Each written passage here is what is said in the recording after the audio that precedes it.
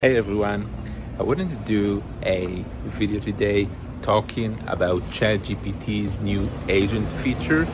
Now, this has been live for the past two, three weeks, and uh, I had the pleasure of playing around with it, tweaking it, see what works, what doesn't work. And uh, I wanted to share a video about the top use cases for B2B growth. Keep in mind that the agent feature is still very much in beta and it feels like a beta product. A lot of times it gets stuck, broken, or just doesn't fulfill the goal.